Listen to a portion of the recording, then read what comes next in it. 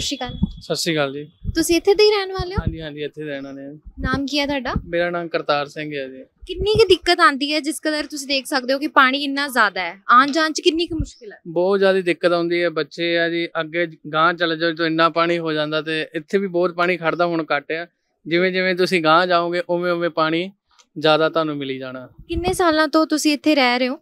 ਇੱਥੇ ਮੇਰੇ ਵੱਡੇ ਸਿਸਟਰ ਨੇ ਉਹਨਾਂ ਨੂੰ 30 ਕੇ ਸਾਲ ਹੋ ਗਏ ਰਹਿੰਦੇ ਨੂੰ। ਤੇ ਮੈਨੂੰ 30 ਸਾਲ ਹੋ ਗਏ ਮੈਨੂੰ ਆਉਂਦੇ ਨੂੰ ਇੱਥੇ ਮੇਰੀ ਆਟੋ ਲੱਗਦੀ।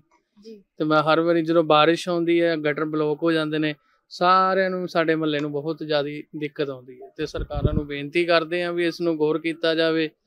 ਜਦੋਂ ਕਿ 5 ਸਾਲਾਂ ਦੇ ਆਉਂਦੀਆਂ ਹਨ ਤਾਂ ਡੋਰੋ ਡੋਰ ਹੁੰਦੇ ਨੇ ਹਰ ਕਿਸੇ ਦੀ ਮੁਸ਼ਕਲ ਹੀ ਉਦੋਂ ਖੜੇ ਹੋ ਜਾਂਦੇ ਨੇ।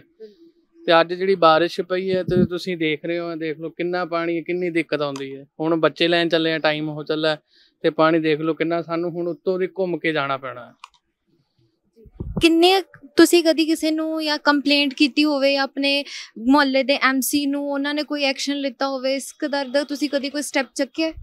ਨਹੀਂ ਉਹਨਾਂ ਨੂੰ ਕਹੀਦਾ ਤੇ ਹੈਗਾ ਉਹ ਕਹਿੰਦੇ ਕੋਈ ਨਹੀਂ ਤੁਹਾਡੇ ਤਿਆਰ ਪਰ ਤਿਆਰ ਹੈ ਜਦੋਂ ਤੁਸੀਂ ਮਰਜ਼ੀ ਰਾਤ ਨੂੰ ਆਵਾਜ਼ ਮਾਰੋ ਅਸੀਂ ਹਾਜ਼ਰ ਨੇ। ਤੇ ਗਾਂ ਜਿਹੜੇ ਕੰਮ ਕਰਨ ਵਾਲੇ ਨੇ, ਉਹ ਨਹੀਂ ਆਪਣੇ ਪ੍ਰੋਪਰ ਕੰਮ ਕਰ ਸਕਦੇ। ਜਿਹੜੇ ਉੱਪਰ ਬੈਠੇ ਨੇ, ਉਹ ਤੇ ਕਹਿੰਦੇ ਨੇ, ਤੁਸੀਂ ਕੰਮ ਕਰੋ। ਤੇ ਗਾਂ ਕਿਸੇ ਨੂੰ ਹੈਲਪਰ ਨੂੰ ਉਹਨਾਂ ਨੂੰ ਫੋਨ ਕਰਦੇ ਆ, ਉਹ ਛੇਤੀ ਨਹੀਂ ਪਹੁੰਚਦੇ। ਉਹ ਦੇਖਦੇ ਨਹੀਂ ਵੀ ਕਿੰਨੀ ਪਬਲਿਕ ਨੂੰ ਤੰਗ ਆ ਰਹੀ ਹੈ। ਜਿਹੜੇ ਮੈਂਬਰ ਨੇ, ਉਹ ਤਾਂ ਪਹੁੰਚ ਜਾਂਦੇ ਨੇ। ਜਿਨ੍ਹਾਂ ਨੇ ਗਾਂ ਕੰਮ ਕਰਨੇ ਨੇ, ਉਹ ਟਾਈਮ ਨਾਲ ਨਹੀਂ ਪਹੁੰਚ ਸਕਦੇ। ਬੇਨਤੀਆਂ ਨੇ ਵੀ ਟਾਈਮ ਨਾ ਕਰੋ। ਕਿੰਨੀ ਕੀ ਦਿੱਕਤ ਆਉਂਦੀ ਹੈ, ਸਾਰਿਆਂ ਨੂੰ ਮੁਸ਼ਕਲ ਹੋ ਜਾਂਦੀ ਹੈ। ਕਿੰਨਾ ਟਾਈਮ ਬਾਅਦ ਨਿਕਲਦਾ ਹੈ? ਮਤਲਬ ਪਾਣੀ ਮੈਂ ਦੇਖ ਸਕਦੀ ਹਾਂ ਕਿ ਬਹੁਤ ਜ਼ਿਆਦਾ ਪਾਣੀ ਗਹਿਰਾ ਆ। ਤੇ ਕਿੰਨੇ ਟਾਈਮ ਬਾਅਦ ਫਿਰ ਨਿਕਲ ਜਾਂਦਾ ਸ਼ਾਮ ਤੱਕ ਨਿਕਲਣਾ ਸ਼ਾਮ ਨੂੰ ਕਲੀਅਰ ਹੋਣਾ ਜੀ।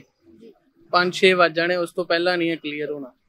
ਉਸ ਤੋਂ ਵੀ ਟਾਈਮ ਲੱਗ ਜਾਂਦਾ ਜਿੱਦਾਂ ਜਿੱਦਾਂ ਬਲੋਕਿੰਗ ਖੁੱਲਦੀ ਜਾਏਗੀ ਤੇ ਨਿਕਲ ਜਾਏਗਾ ਨਹੀਂ ਤਾਂ ਸ਼ਾਮ ਲੱਗ ਜਾਂਦੀ ਹੈ। ਬਹੁਤ ਬਹੁਤ ਧੰਨਵਾਦ ਸਰ ਤੁਹਾਡਾ।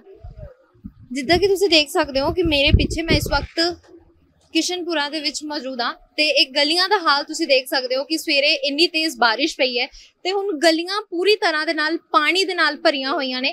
ਖਾਸ ਕਰ ਗੱਲ ਕਰੀਏ, ਦੋ ਵੀਲਰ ਜਿਹੜੇ ਵਾਹਨ ਨੇ, ਉਹਨਾਂ ਨੂੰ ਜ਼ਿਆਦਾ ਦਿੱਕਤ ਆਂਦੀ ਹੈ ਜਾਂ ਫਿਰ ਪੈਦਲ ਜਾਣ ਵਾਲੇ ਲੋਕਾਂ ਨੂੰ ਜ਼ਿਆਦਾ ਦਿੱਕਤ ਹੈ ਕਿਉਂਕਿ ਦੂਰ ਤੱਕ ਜਿੰਨੀ ਵੀ ਨਜ਼ਰ ਜਾ ਰਹੀ ਹੈ ਮੇਰੀ ਉਨੀ ਦੂਰ ਤੱਕ ਜਿਹੜਾ ਪਾਣੀ ਆ ਬਹੁਤ ਜ਼ਿਆਦਾ ਗਹਿਰਾ ਹੈ। ਗਹਿਰਾ ਇੰਨਾ ਜ਼ਿਆਦਾ ਹੈ ਕਿ ਮਤਲਬ ਕਹਿਣ ਦੀ ਕੋਈ ਹੱਦ ਨਹੀਂ ਹੈ ਬਲੋਕੇਜ ਇੱਕ ਤਾਂ ਪਾਣੀ ਜਿਹੜਾ ਮੀਂਹ ਦਾ ਹੈ, ਉਸ ਤੋਂ ਇਲਾਵਾ ਇੱਥੇ ਇੱਕ ਹੋਰ ਸਮੱਸਿਆ ਹੈ ਕਿ ਜਿਹੜੇ ਸੀਵਰੇਜ ਦੀ ਸਮੱਸਿਆ ਦੇ ਨਾਲ ਵੀ ਲੋਕ ਅਕਸਰ ਇੱਥੇ ਪਰੇਸ਼ਾਨ ਰਹਿੰਦੇ ਨੇ ਤੇ ਲੋਕਾਂ ਦੇ ਨਾਲ ਅਸੀਂ ਗੱਲਬਾਤ ਵੀ ਕੀਤੀ ਹੈ ਉਹਨਾਂ ਨੇ ਦੱਸਿਆ ਕਿ ਕਿਸ ਤਰੀਕੇ ਦੇ ਨਾਲ ਕਿ ਇੱਥੇ ਮੌਜੂਦਾ ਹਾਲਾਤ ਕਿਹੜੇ ਨੇ ਪੂਰਾ ਦਿਨ ਜਿਹੜਾ ਹੈ ਉਹ ਪਾਣੀ ਇਸ ਤਰ੍ਹਾਂ ਹੀ ਰਹਿੰਦਾ ਆ ਕਈ ਵੇਲੇ 2 ਦਿਨ ਵੀ ਜਾਂ ਉਸ ਤੋਂ ਜ਼ਿਆਦਾ ਟਾਈਮ ਵੀ ਇਸ ਮੁਹੱਲੇ ਦੇ ਵਿੱਚ ਇਦਾਂ ਹੀ ਪਾਣੀ ਰਹਿੰਦਾ ਆ। ਬੱਚੇ ਖੇਡ ਰਹੇ ਨੇ, ਬੱਚੇ ਜਿਹੜੇ ਤੁਸੀਂ ਦੇਖ ਸਕਦੇ ਹੋ ਕਿ ਸਾਈਕਲ ਤੇ ਨੇ ਕੁਝ ਗੱਡੀਆਂ ਵਾਲੇ ਵੀ ਨੇ, ਪਿੱਛੇ ਤੱਕ ਤੁਸੀਂ ਦੇਖ ਸਕਦੇ ਹੋ ਕਿ ਲੋਕਾਂ ਨੂੰ ਆਉਣ ਜਾਣ ਚ ਕਾਫੀ ਦਿੱਕਤ ਹੈ ਕਿਉਂਕਿ ਇੱਥੇ ਮਾਰਕੀਟ ਵੀ ਹੈ, ਕਾਫੀ ਤਰੀਕੇ ਦੀਆਂ ਦੁਕਾਨਾਂ ਵੀ ਨੇ, ਟੇਲਰ ਦੀ ਦੁਕਾਨ ਹੈ ਨਾਈ ਦੀ ਦੁਕਾਨਾਂ ਨੇ, ਇੱਥੇ ਬਹੁਤ ਰਾਸ਼ਨ ਦੀਆਂ ਵੀ ਦੁਕਾਨਾਂ ਨੇ, ਲੇਕਿਨ ਫਿਰ ਵੀ ਇੱਥੇ ਲੋਕਾਂ ਨੂੰ ਬਹੁਤ ਜ਼ਿਆਦਾ ਪਰੇਸ਼ਾਨੀ ਦਾ ਸਾਹਮਣਾ ਕਰਨਾ ਪੈਂਦਾ ਜਦੋਂ ਮੀਂਹ ਪੈ ਜਾਂਦਾ ਹੈ। ਕੈਮਰਾਮੈਨ ਤਰੁਣ ਦੇ ਨਾਲ, ਮੈਂ ਜੰਨਤ ਸ਼ੂ ਪੰਜਾਬੀ ਬੁਲੇਟਿਨ, ਜਲੰਧਰ।